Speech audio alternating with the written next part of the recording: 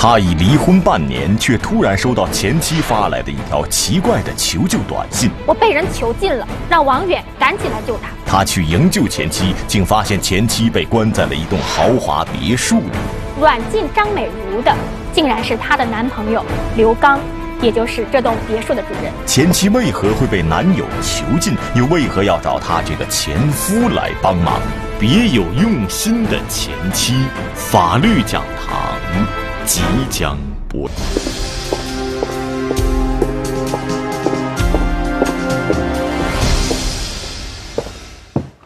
观众朋友，大家好，欢迎收看本期的法律讲堂。二零一五年八月的这天晚上，王远收到了前妻张美如发来的一条奇怪的短信，惊得他心跳慢了好几拍儿。前妻在短信上说：“我被人囚禁了，让王远赶紧来救他。”而随短信发来的呢，还有一个具体的门牌号码。王源马上回拨电话，可是张美如的手机却怎么都打不通了。他呢又赶忙问了可以联系到前妻的亲朋好友，希望这只是一条诈骗短信。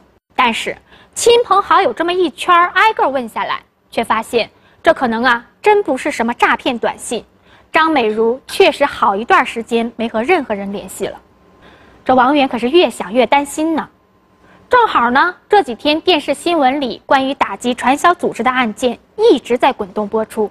这王远心说，前妻不会是被人骗入传销组织，无法脱身才发短信求助的吧？被拉去做传销的那些人吃的不好，住的也差，这稍有不从呢，是非打即骂。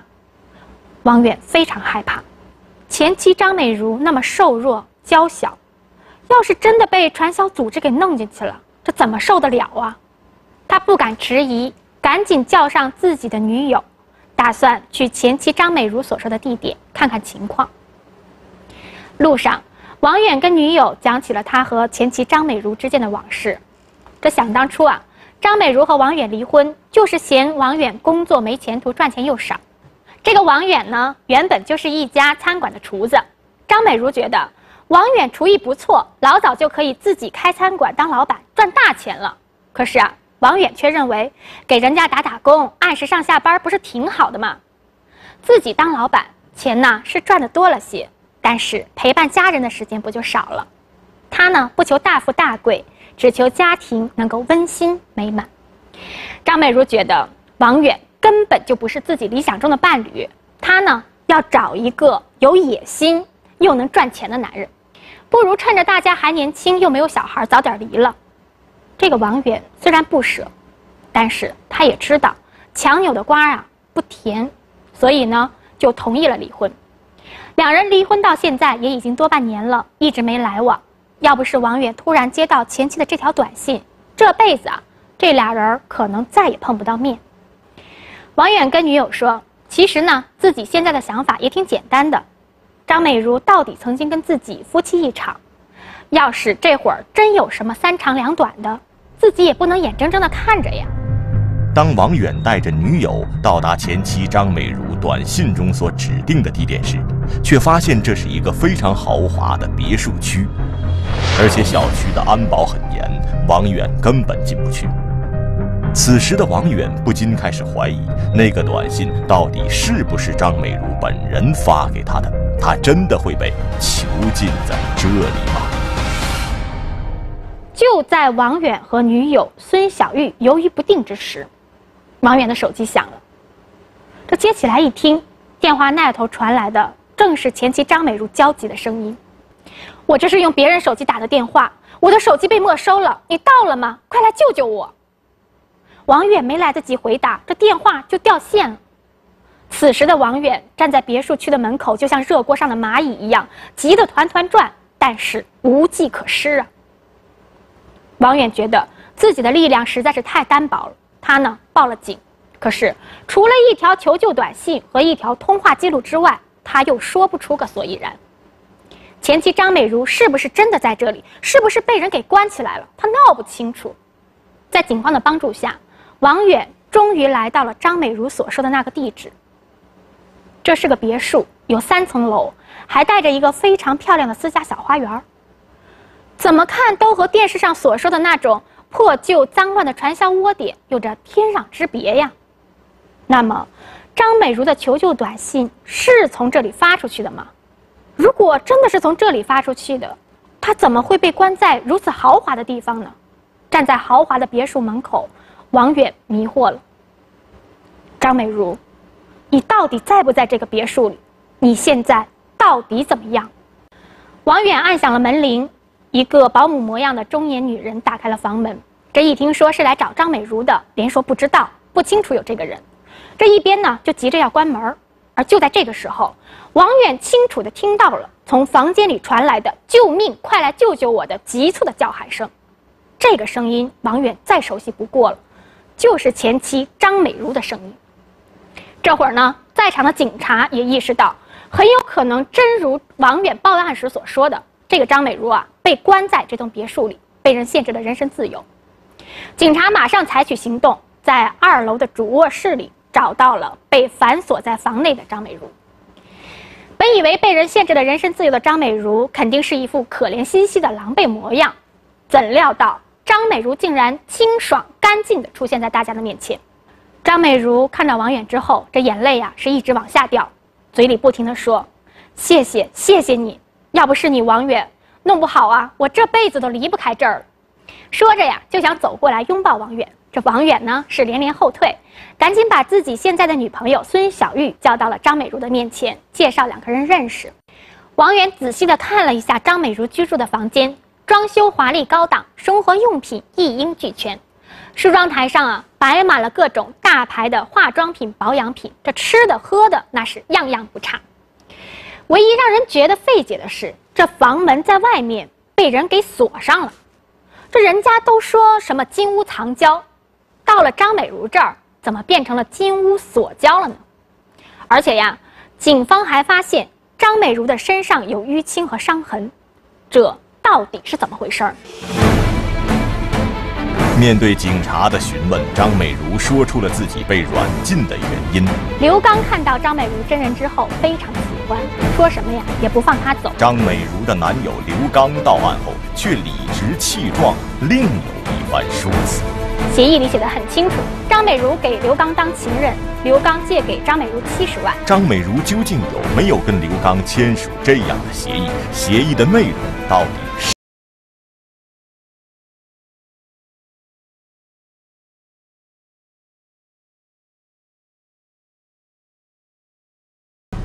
警方随即开始了询问。让众人惊讶的是，软禁张美如的竟然是她的男朋友刘刚，也就是这栋别墅的主人。张美如跟警方说，自己和王远离婚之后没找到什么好的工作。就在她一筹莫展的时候，有人就和她说：“你不知道吧？其实啊，现在最赚钱的是当网络女主播。你呢，长得还可以，声音啊也还算好听。”你在网络上唱唱歌、讲讲故事，这钱就到手了。他当即就在一个火爆的聊天网站上注册了一个账号，成了网络女主播。渐渐的，张美如注意到了一个对自己关注度极高的男粉丝。每次张美如一上线，他的鲜花和礼物马上就送到，还经常花大价钱点他的名儿，请他讲故事。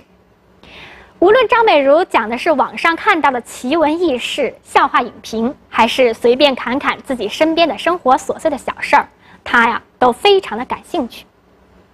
看到有人这么捧自己，张美如的心里也挺开心的。这一来二去的，俩人逐渐熟络。张美如得知，对方是一个贸易公司的大老板，名叫刘刚。刘刚很舍得给张美如花钱，在现实生活中，每逢节日也会快递一些个首饰、化妆品之类的送给她，讨她欢心。而且这个刘刚啊，还是一个有远大抱负的男人，他的事业已经挺成功的了，可是他仍然是雄心勃勃的，常将自己的事业计划说给张美如听。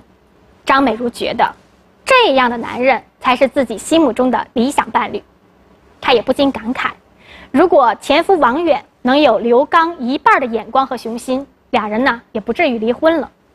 这大伙听到这儿啊，都觉得这不是郎情妾意，俩人感情不挺好的吗？这怎么会落得个被软禁的下场呢？张美如接着说道：“之前呢，两个人都是通过网上或者电话联系的。第一次见面大概是三四个月之前。这见面后一番细聊，张美如才知道，原来刘刚早有家室。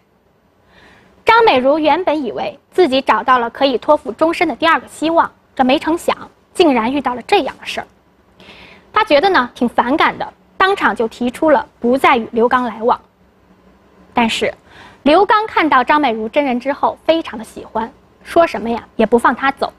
他希望张美如能做他的情人，而且还许诺说，只要是他张美如想要的，他都会尽量的满足。而就在两人第一次会面的那天晚饭之后，刘刚就把张美如带到了这间别墅，软禁了起来。张美如边说边哭，在场的所有人不禁开始同情她的遭遇。王远一时间也不知道该如何安慰她。但是让人意想不到的是，警方在后来的调查中竟然发现，张美如讲的并不完全是实话。刘刚软禁张美如，另有起因。张美如所说的男朋友刘刚很快到案了，刘刚也很坦率，说自己呀喜欢张美如，求爱不成，软禁张美如是事实不假。但是，软禁张美如还有一个很重要的原因。那就是张美如曾经跟自己签下了一纸协议，协议里写的很清楚，张美如给刘刚当情人，刘刚借给张美如七十万，一年为期，期满后张美如去留随意。如今呢，自己钱已经给了，合约期限也还没到，张美如自己啊是不能走的。为证自己所言不虚，刘刚还拿出了那份白纸黑字，张美如签过字、盖过章的协议，和张美如在一起那么多年。他知道张美如对物质啊是有需求、有些虚荣的，但是一直以来，自己所了解的张美如，那可都是想着凭着一己之力努力赚钱，从来没有想过不劳而获呀。跟自己没离婚那会儿，他也只是不停的唠叨，让王远有点冒险精神，出来开个店儿做做小老板。离婚之后，他做微商也好，做网络女主播也罢。那也能算得上是自食其力吧。王远觉得，再怎么样，他张美如也不太可能为了钱给别人当情人的，这里面肯定有问题。这个张美如到底是不是为了钱当了别人的情人呢？那份协议又是真是假呢？警方深入调查下来，发现了端倪。就在这两个月，张美如的银行账户曾有巨额收支。刘刚的确曾经给他打过七十万元，张美如在次日就把这些钱全都打给了一个叫做张美义的人。王远知道这个张美义，她是张美如的亲妹妹。事已至此，王远的心彻底凉了。结婚这么多年了，自己终究还是不了解张美如的。王远觉得这次啊，把张美如救了出来，也算是仁至义尽了。其他的事儿他不想管，也管不了。王远订了当天下午的车票，打算和女友孙小玉回家了。可是，警方却告诉他，张美如给刘刚当情人啊，原因还真的有点复杂。这个张美如也有让人同情的地方。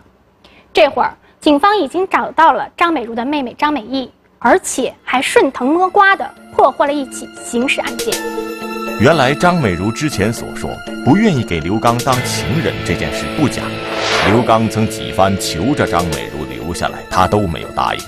但是就在这个时候，张美如接到了正在上大学的妹妹张美义打来的电话，而就是这个电话让张美如打消了拒绝刘刚的念头。妹妹张美义在电话里哭着说：“她前些日子借了高利贷，现在对方催着要还钱，已经催要到学校里了。她实在太害怕了，这段日子啊自己都不敢上学了。”姐姐张美如挺纳闷的，妹妹一直是品学兼优的，怎么好端端的借了高利贷呢？仔细一追问才知道，前段时间张美意因为想要买高档手机，又不好意思向父母开口要，就在网上找了一家贷款平台，说是啊，只需要自己的身份证、电话号，还有父母、老师的信息，就可以轻松的贷到钱。身边很多同学都通过这个贷款平台借到了钱，买到了心仪已久的东西。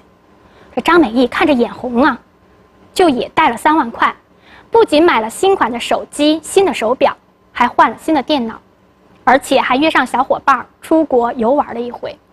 但是谁能想到，因为无力偿还贷款，在后来短短几个月的连还贷中，这三万多元的本金竟然滚雪球般越滚越大，一下子滚到了七十多万。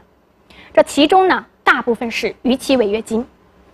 警方在搜查到的借条上看到，张美玉的借条原件上已经按满了红色的手印，有一张借条上面还明确约定，逾期违约金为本金的百分之二十每天，也就是说，借三万块逾期不还的话，违约金就要六千元一天。这时间一长啊，本来不多的借款就变成了张美玉无论如何也还不起的巨额债务了。此前贷款公司还说的好好的，暂时还不了呢，就当续借了，只不过利息比原来要高一些。可后来张美玉表明了自己没钱还之后，贷款公司可就变了脸色，要求张美玉赶紧还钱，而且还威胁说，不还钱的话就告诉学校让他无法毕业，而且呢他的信用记录也会受到影响，以后找工作可是会遇到很大的困难，可没有公司敢要他了。最近呢，贷款公司的人已经是隔三差五到学校来要钱了。单纯无助的张美玉不敢告诉父母，只能找到平日里对自己疼爱有加的姐姐张美如，希望姐姐能帮她渡过难关。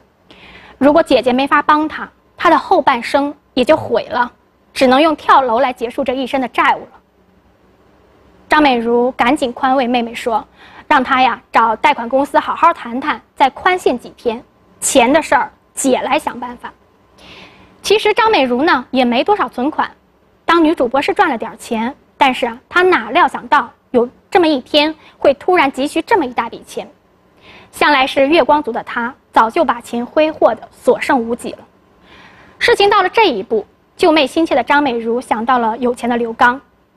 为了妹妹，张美如找到刘刚，答应做他的情人，但条件是让刘刚给自己现金七十万。刘刚虽然有些云里雾里的，但是一听说张美如愿意做自己的情人了，那是喜出望外，也不管张美如为什么突然会回心转意了，这高兴的呀，马上要和张美如签订协议，以防张美如反悔。他们呢就在协议中约定，刘刚借给张美如七十万的现金，张美如做刘刚的情人一年，一年期满后，张美如不用归还一分钱，但是如果张美如没有陪满自己一年的话。不但要还给自己七十万，还要再付七十万的利息。张美如在协议上签了字之后，刘刚很快就给张美如汇了钱，而张美如呢，用这七十万帮着妹妹张美艺度过了难关。张美如收了刘刚的钱之后，住进了别墅，做起了刘刚的情人。这种情人生活可不是自己想要的。自己呢想离开刘刚，找个好人嫁了。刘刚知道了张美如的想法后，坚决不同意她离开，还把她的身份证、手机、钱包全都锁了起来。被刘刚软禁的张美如是如何求救到前夫？情人刘刚终将会受到怎样的法律制裁？别有用心的前妻，法律讲堂正在播出。此后。张美如开始正式的履行了协议，她在刘刚的别墅里啊住了下来。但是，一周、两周、一个月、两个月过去之后，张美如越来越觉得，这种情人生活可不是自己想要的。自己呢想离开刘刚，找个好人嫁了，好好的过日子。可是，刘刚哪里舍得张美如走啊？他知道张美如这一走，可能就永远的消失在他的生命中了。他不愿意放手。索性呢，就把他关在了别墅里，还把他的身份证、手机、钱包全都锁了起来。被锁在别墅里的张美如，就像被关在笼子里的鸟，插翅难飞。刘刚喝多了，有时还会动手打他。这个时候，这种境况，有谁能来救他呀？左思右想之后，张美如想起了前夫王远，但是怎样才能联系上王远呢？这一天呢，机会难得。平时看着他的保姆吃坏了肚子，张美如趁着保姆上厕所的时间，撬开了装着自己手机的柜子，给前夫王远发了一条求救短信。因为害怕被人发现打草惊蛇，短信发出去之后，他便赶紧关了机。于是呢，便出现了节目开头咱们所说的那一幕。警方在了解了事情的真相之后，以刘刚和保姆张某涉嫌非法拘禁罪，对案件进行了立案侦查。但是刘刚却大喊冤枉，他认为他跟张美如已经签订了协议，自己借给了张美如七十万元，作为交换条件，张美如就得在别墅里陪他，否则张美如就是违约，自己也就不可能涉嫌非法拘禁罪。刘刚的辩解是否有理？警察又会如何认定呢？警方解释说，公民的人身自由不受侵犯，以拘押、禁闭或者其他强制方法非法剥夺他人人身自由的行为将受到法律的严惩。你把张美如长时间的反锁在房间内的行为，就是以拘禁的方法非法剥夺他人人身自由的罪行，而且张美如身上还有轻微伤。你已经涉嫌构成非法拘禁罪。听了警方的解释，刘刚沉默了一会儿。自己呀，年近不惑，又在商场上纵横多年，怎么可能不懂警察说的道理呢？之前那么说呀，不过是存着侥幸心理狡辩罢了。刘刚表示认罪，愿意接受法律的严惩，但是他的心里挺窝火的。张美如，既然你不同意再做我的情人了。按照咱们签好的协议，你得还我一百四十万。现在你也跟了我几个月了，我呢也不要一百四十，你给我七十万本金就行。刘刚随即向人民法院起诉，要求张美如按照协议里的约定归还借款七十万元。那双方签订的协议是否有效？这笔钱张美如该不该还给刘刚呢？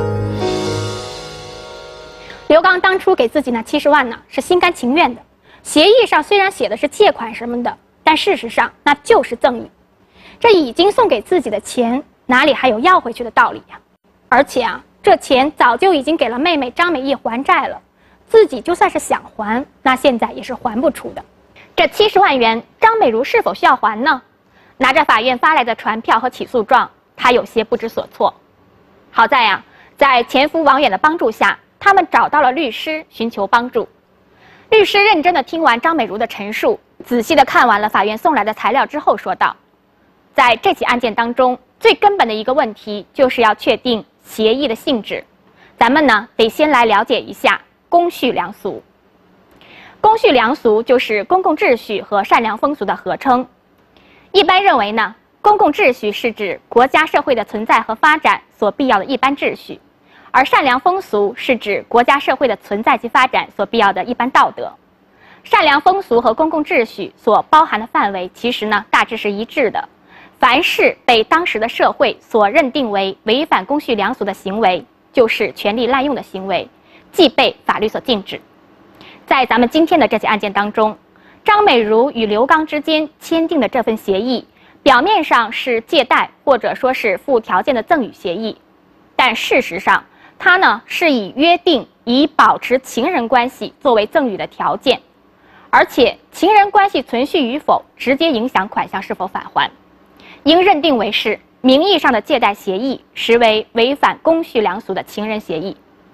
这种协议违反了社会的公德，有损社会公序良俗，应予禁止。从这一意义上而言，刘刚起诉要求保护的财产权，并非正常的民事权益。是违反公序良俗的借贷行为，不受法律保护，不属于人民法院受理民事诉讼的范围。法院裁定驳回了刘刚的起诉。而就在这个时候，刘刚非法拘禁张美如的案件也宣判了。法院经过审理后判决，刘刚犯非法拘禁罪，判处有期徒刑一年，缓刑一年六个月；保姆张某则被判处有期徒刑七个月，缓刑一年。张美如的生活慢慢恢复了平静。经历了这么多之后，她也终于知道谁才是值得自己珍惜和感激的人。她感激那个能为一封求救短信赶来救助自己的人，更后悔没有珍惜之前与前夫王远之间的那些个虽然平淡却温馨的日子。她也终于认识到，真挚美好的感情从来就与利益没有关系。伴侣的经济能力也不是衡量是否投入感情的因素。张美如其实挺想和王远提复婚的，但是王远告诉她，他也已经找到了真正适合自己的人。这次啊，能把张美如救出来，多亏了现任女友孙小玉的理解与帮助。王远还说：“咱们俩呀，虽然已经离了婚，爱情没了，可亲情还在。现在的你对我而言就是亲人。你说，得知亲人有难，哪有袖手旁观的道理？”王远希望前妻张美如能正确面对他俩之间的情感问题，同时也祝愿他呀能早日找个好归宿，平安喜乐的度过这一生。事情终于告一段落了，而这个时候，张美如的妹妹张美意竟然拿着六十多万元，说是要还给姐姐。这张美如挺惊讶的，这钱哪儿来的呀？原来，警方已经破获了高利贷犯罪团伙，团伙成员以非法经营罪被判了刑。钱款绝大多数已经被追回。其实啊，在妹妹张美意得知姐姐张美如为了自己竟然是如此的糟蹋自己、委屈自己的时候，他是悔不当初的。自己作为一个大学的在校生，虽然已经成年了，但是还是属于没有收入的消费群体，消费观念也还没有成熟。这购物呢，喜欢攀比、贪慕虚荣，习惯了超前消费，这些恶习。让自己一步步的走向了高利贷的深渊而不能自拔，好在是警方的及时介入，让犯罪分子终落法网。好，感谢您收看本期的法律讲堂，我们下期再见。女孩被亲姑姑告上法庭，指责她虐待父亲。王俊丽不给她父亲吃东西。姑姑提出，女孩父亲的遗产应该由姑姑继承。王俊丽根本就不是大哥的亲生女儿。女孩否认自己虐待父亲，并指责姑姑是别有用心。这中间有着怎样的隐情？姑姑和我争遗产，法律讲堂，明日播出。